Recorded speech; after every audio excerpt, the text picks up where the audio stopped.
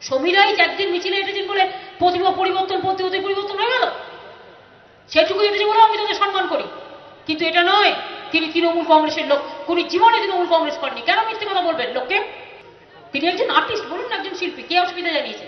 জীবনে তিনি তৃণমূল কংগ্রেস করেন এটা বলতে যাবেন না প্লিজ দয়া করে। চ্যানেলে বসিয়ে তৃণমূল কংগ্রেসের লোক বলে মিথ্যাচার করবেন না।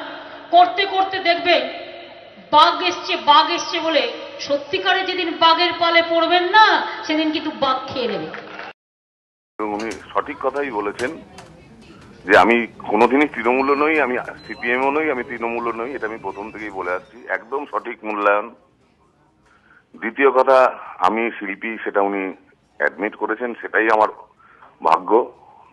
সেটাতে আমি সম্মানিত বোধ করলাম। তৃতীয় কথা, আমি পরিবর্তনপন্থী কিনা কটা মিছিলে হেঁটেছি, কি মিছিলে হাঁটিনি, এটার হিসেবটা বাংলার মানুষের কাছে পরিষ্কার। হ্যাঁ সুতরাং এই এই রেকর্ড আমার মনে হয়, আমার তো বলার কিছু নেই। উনি যেটা বলেছেন, উনি ভেবেচিন্তেই বলেছেন, ওনাকে আমি সম্মান করি। সুতরাং সবই ঠিকই আছে।